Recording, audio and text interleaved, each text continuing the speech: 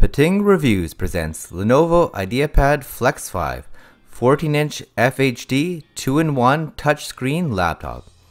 Please don't forget to subscribe and press the bell icon to get the latest videos. Also, check out the link to this product in the description below to get it the best possible price.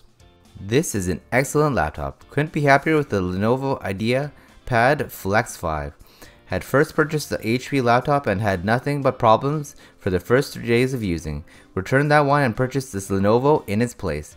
I was hesitant as I wasn't too familiar with the Lenovo brand.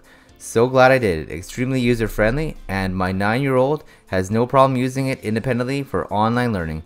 Would highly recommend that you check out this excellent touchscreen laptop that's a 2-in-1 as used as a tablet as well.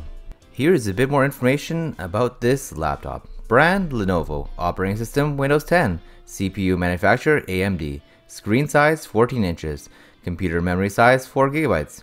The AMD Ryzen 3 4300U quad core processor gives you the power to surf, stream, and do much more, edit photos and videos faster than ever, and move between programs in Windows quickly.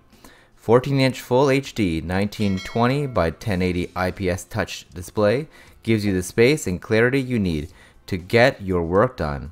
Substantial high bandwidth RAM to smoothly run your games and photo and video editing applications, as well as multiple uh, programs and browser tabs all at the same time. Provides massive storage space for huge files so that you can store important digital data and work your way through it with ease. Original seal is opened for upgrade only. If you also see the upgrade your edition of Windows section, be careful not to click the go to the store link that appears there. The hardware that is included for storage is 256 gigabytes of NVMe SSD. Windows 10 in S mode is designed for security and performance, exclusively running apps from the Microsoft Store.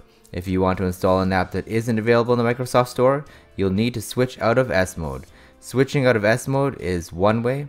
If you make the switch, you won't be able to go back to Windows 10 in S mode. There's no charge to switch out of S mode. Thank you for watching this video. All the details for this product are in the description below.